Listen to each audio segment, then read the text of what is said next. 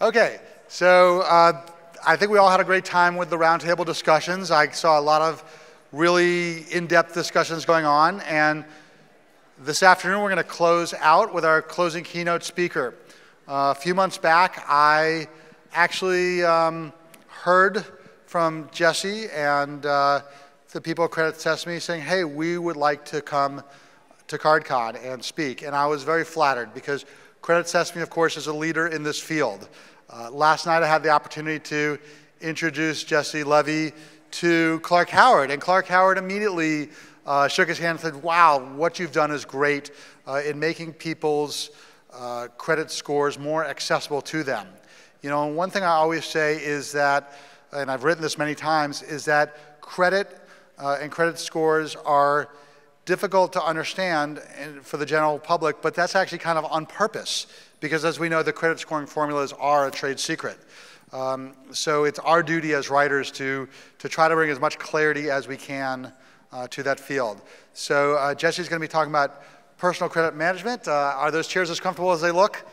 Very comfortable. All right, well, come on up here. Great to have Jesse Levey, President of Credit Sesame. Thank you. Thank you.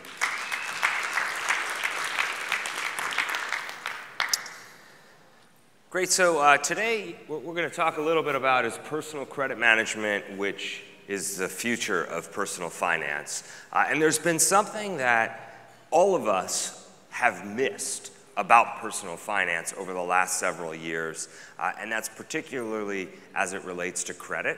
And we're going to dig in deeper uh, on that. And I'm going to posit at the beginning here how many of you are fans of Dave Ramsey? Anybody? So uh, we're going to talk about why uh, uh, people like Dave Ramsey, who've been preaching at us, have actually done a real disservice to many Americans who are struggling, who need help, and uh, we, can, we can fix that today, right here, right now. So, what is personal credit management? Let's, let's start off with that. So, uh, first, the, the, industry started off in the credit space, uh, particularly in personal credit, by giving people access to their credit. Uh, that started with credit scores. Uh, credit Karma was the first to give uh, free credit scores uh, about 10 years ago. Uh, credit Sesame was the first to give credit report information to a mass um, population, credit monitoring, credit kind of access to your credit information. Uh, and that includes scores, report, monitoring, um, and you know, additional trade line data, et cetera. That's all access. That's kind of the first phase. And now, as we know, that has become a commodity. There are so many different places you can get a free credit score from Credit Sesame, Credit Karma, from your, bu your bureaus, from your bank. You can get a credit score in so many different locations. It has really become a commodity, which is good that's a good thing. Um, and has created more demand and interest in credit than we've ever seen before. And so once people have access to their credit information, what do, what do they want to do? They get this credit score, they see the information, it's confusing. You know, as Jason said, credit score and credit reports were not built for consumers, they were built uh, for the banks. And so what people want next is they want to understand their credit and they want to improve it. And this is really the number one thing that people want, and we can dig into a little bit more detail on as to why.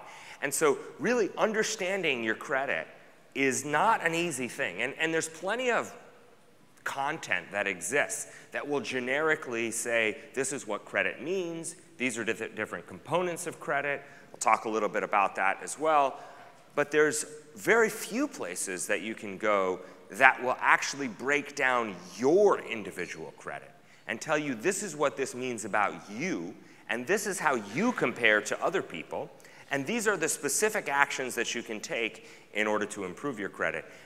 But because of you know, advanced analytics and machine learning, we now have the ability with millions of credit records to be able to pinpoint specific actions that individuals take and how that will impact their credit score in the short term and the long term.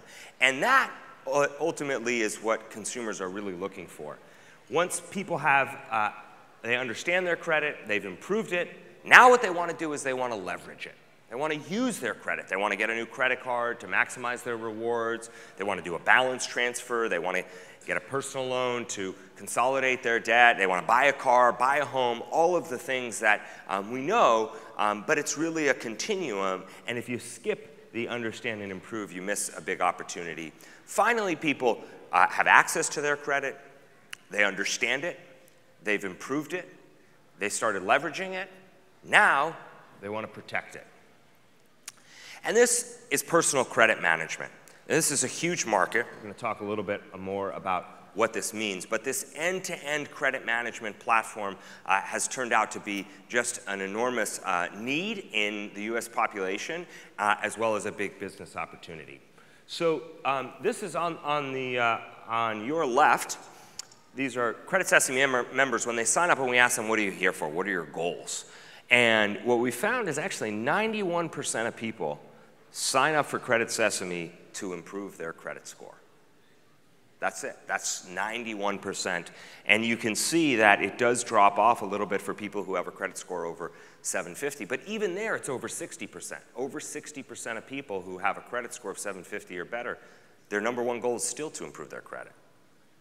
And we'll go into some of the reasons on, on why that is. And, and you can see over on the right, uh, Discover commissioned a, uh, a study uh, that looked at, well, what is it that people you know, are looking to do with their credit score? And actually, 61% of Americans and 87% of Gen Z and 83% of millennials are actively trying to improve their credit score. They're actively working on it. That's 153 million people today are already trying to improve their credit score.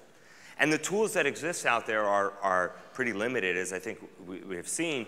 Uh, reading content, trying to piece together 12 different things about your credit and understand how that applies to you um, versus taking a, a, a, data approach to being able to use the data and leverage the data in more advanced ways to be able to help people improve their credit. So uh, this shows the size of, uh, of the demand.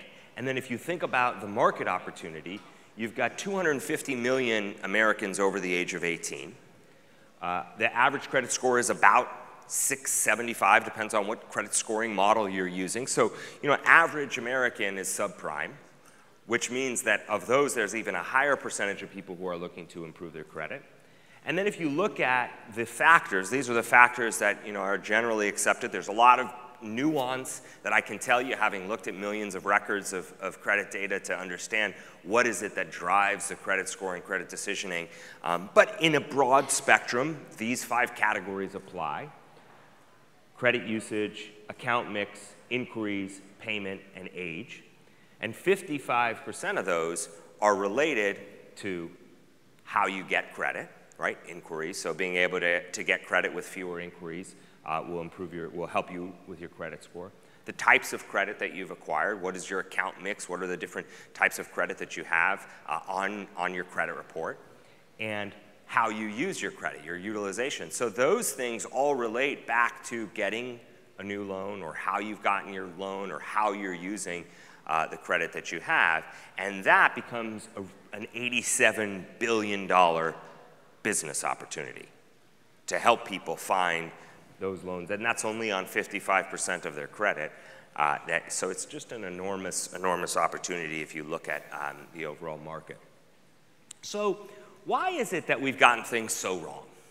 Why have we been, been uh, missing this opportunity? Why have people missed this opportunity for so many years? Well, you think about somebody here. This is, a, this is uh, Molly, which is a, a typical uh, Credit Sesame user, and by the way, typical um, American, a credit score of 620, who has $28,000 in student debt, a $17,000 in credit card debt, and an annual income of $32,000. Now, what would Dave Ramsey say to Molly? cut up your well yeah cut up your credit card tighten your belt right? and, and actually, you, you cut up your credit card, it's going to be the worst thing you can do for your credit score, right? Tighten your belt, live within your means, start paying down your credit. Yeah, stop spending, all of these things. Molly's trying to get by. She's trying to live. She's got to pay rent. She's got to get to work. She needs a car. She's got bills to pay. She's got to eat. And she has this mountain of debt that she's trying to pay down. And the advice that our, we have been preaching at her and many others, uh, and the personal financial management PFM tools that exist out there have been telling her to do something that she literally can't do, which is, yeah, live within your means, tighten your belt, get on a budget, pay down your debt. So what, what should Molly do? She can't, she can't do these things, but what she can do is she can improve her credit score. And if you take millions of credit records and you apply it to Molly's situation and you use advanced data analytics and machine learning to give her specific and actionable recommendations about her own credit situation and what she can do to improve her credit score, she could imp improve her credit score from 620 to 720 in a short amount of time, which would mean she could do things that would enable her to pay down her debt, like balance transfer, debt consolidation, et cetera, that will lower her rates, allow her monthly payment to be more manageable, and then she could start getting her personal financial house in order. But in many ways, we've put the cart before the horse. If you get your credit in order and you improve your credit, that's going to enable you to do all of these other things. Um, but most of our personal financial management tools and um, many so-called experts have been preaching at people to do those things first, and it's simply not possible. And this is a huge opportunity uh, because people have been underserved, and this is a growing, uh, growing market. And uh, so I'm really excited about the opportunity to help people like Molly. So the next thing I want to talk about is how to, personal credit management, how uh, to leverage, how to improve the experience of leveraging your credit, of getting a new loan. So the current process, given kind of where our technology has gone, is pretty antiquated. Um, consumers don't understand necessarily that it's not just about your score, but about all of the underlying things that are uh, on your credit report. Uh, there's so many different credit scoring models, so uh, while there has been significantly more access to credit information, that doesn't necessarily mean that people can make better decisions on what loans to get because credit score is just one data point and there's many scoring models and you have no idea if the bank that you're applying to is even using the scoring model that you have. Um, and often people don't understand that. Criteria vary obviously from lender to lender, from different, uh, different types of products uh, have very different underwriting criteria. Um, and many of the factors are opaque. We can't even, uh, that nobody will tell you what they are. Um, you know, sometimes you'll get some insight, um, but it isn't until you have millions of records and you can start digging under the hood that you can actually see what is driving a lending decision. And when people are denied and they get a, an adverse action letter that says, you know, you were denied for, uh, for this loan, those reasons to average US consumer don't make sense. And they're hard to understand. And so here is another opportunity to break down barriers and help, uh, help people to better understand what things, um, what, what uh, a better experience can be. So again, through data, through using millions of records, we can break down those barriers and use all of that data to be able to personalize the experience for somebody around what they are likely to qualify for, what the terms of that product are likely to be, and by the way, tying that back to their credit, if they got this new product, this new loan, this new credit card, what would likely their credit score be? And how would that change over time? And we have all of the data to be able to do uh, these models and make these projections. Um, all that we need is approval from compliance and legal and other, uh, others of our, our favorite friends. So that's uh, how, to, how to simulate the models. Um, additionally, we can create a better user experience. In fact, at many, at Credit Sesame and others, we already have the credit data. So rather than having to even go through an approval process uh, where we try to predict what's likely to happen, we can take our data, the underlying data that we already have from a credit report, and run it through an underwriting model and come back with a decision. It's kind of a pre-qual on steroids. Uh, that can give people some certainty up front without having to apply, without having to go through the process, without having to pull credit again, that allows us to use the data that we have from personal credit management, combining that with the data from our lenders and the underwriting models to show real live offers to consumers. And this has many benefits. First, for consumers, they're not going to be applying for things that they, they don't qualify for. They're not going to get approved without knowing that the terms are something that, is, that they would actually accept. Same with lenders.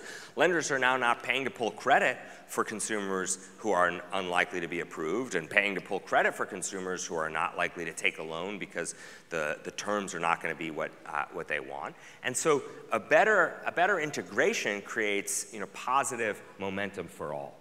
Uh, and that's where the better user experience uh, can come into play. And, by the way, and I think Chase just came out with some, uh, something similar to this, that this can enable uh, many lenders to offer better products. Right? If you know that people are actively managing their credit, you've seen that they have improved, you now can offer them customized experience, customized products, giving them better rates, more rewards, whatever the case may be, based on their own situation. And as their credit changes over time, you can make sure that you're getting ahead of the game so that somebody doesn't take their business elsewhere because you see that their credit has improved. You can automatically uh, uh, reduce their rates. You can automatically give them bonuses and rewards. And we have all of the information uh, to do that. We have all of the data. The only thing keeping us is our own, our own imagination. And uh, we're already starting to see this happen in the market. I would expect that there's going to be even more of it. Um, but people who are part of the personal credit management movement, which again is 61%, 153 million people. It's a huge number of people already. Uh, that th this is a huge opportunity to uh, be able to do business with those, uh, those consumers. So if you think about um, you know, why this is attractive, uh, again, for, on the consumer side, uh, you have you know, virtual instant funding, right? So you can, in one click, basically you can get access uh, to capital, which can help you to reduce your debt load. It can create more certainty. It's bought back to Molly, who, after she improved her credit, now she wants to start paying down her debt and she needs a new product to do that. And by doing all the work in the background, you can actually find her that product. Without doing the work, it can be very difficult for her to find the exact pro product. There's no shopping, no hard inquiries, uh, and, and you feel like you're getting rewarded uh, for, for the, the hard work that you're doing on improving, improving your credit. And if 61% of Americans are working actively to improve their credit score, they want to feel like the banks are noticing, and this is our opportunity to do it. Lenders have a great uh, experience. Uh, a, um, they, they, can, they're able to give something exclusive um, since almost nobody is doing this right now, this is an opportunity to go out and win the market and make things easier for people and allow people uh, to get through a process faster. Um, and there's less risk of consumers looking elsewhere, right? If you, you have your customers, you can see that they're improving their credit score to be able to give them a customized product. That allows you to move faster. And finally, you can reduce your costs, right, by giving, you know, it's much more cost effective to keep the customers that you already have and keeping them happy and giving them really customized, targeted uh, offers creates uh, great opportunity for people. So, again, we can see that streamlining our lending process by using the data that already exists, showing people loans that they already are approved for without having to go through uh, Prequal and others, uh, we can get grow our business. We can get fewer delinquencies by attracting customers that are actively managing their credit, and you get better loyalty. Uh, big opportunity for all, and uh, we really see this as the future. And if you think about where, where else we can share data, we can uh, we, we have um, already, and there are other models out there that predict approval odds, right? We have millions of records. That's an easy way to show consumers likelihood that they'll be approved or declined. Um, and that, that can allow us also to show people who should go through a pre-qual experience, making recommendations to people about when they should go through pre-qual, when they shouldn't go through pre-qual.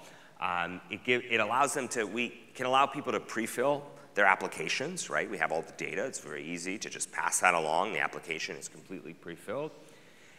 And we can figure out with relative certainty how applying for a new product, how getting a new product, how paying off an old product will impact your credit score, which ultimately is what people want to know. When we talk to consumers about what makes you apply for a credit card, and this is, is, is often um, maybe counterintuitive to some people who are more in a uh, credit card, um, you know, in, in a prime category, is number one, I want to know, am I going to be approved?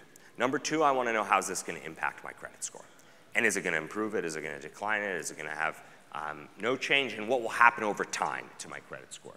And that uh, is a real advantage that exists in the market today because of this proliferation of all of the credit data that's out there. Um, and finally, personal credit management is, we're just at the beginning. We're just seeing kind of the early stages of what personal credit management can do.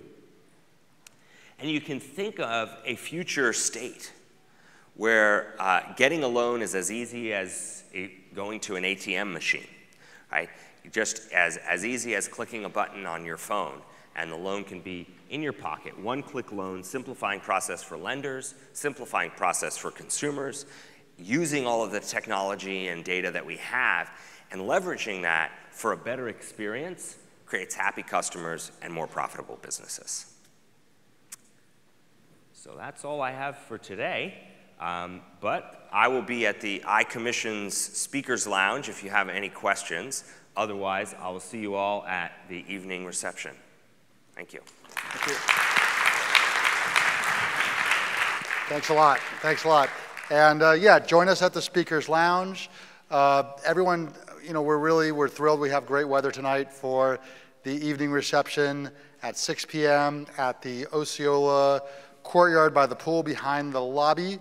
Um, it should be fantastic. Tomorrow, uh, the breakfast will start a little bit earlier at 7 a.m., 7 to 8. Great networking breakfast. And then uh, we have two keynotes uh, in the morning John Ulzheimer and uh, Rachna Bhatt from uh, Barclays. Um, and then we have the, um, the pro networking session and more expo hours. So I know it's really hard to tear everyone back in here uh, after networking. So tomorrow we're actually going to end with networking, and it's not too late to do two things. One would be um, make some requests for meetings. Uh, there's 12 different pro networking sessions, and the second thing is not too late for is to sign up for the um, for the Capital One scholarship. So everyone, not just freelancers, but self-employed people who write about credit and credit cards, uh, can get your admission back uh, just by filling out that form, and you are asked to recognize the sponsor, Capital One, for that. So uh, you can do that now, today, anytime you'd like. Um, thank you all for coming. We'll see you tonight by the pool.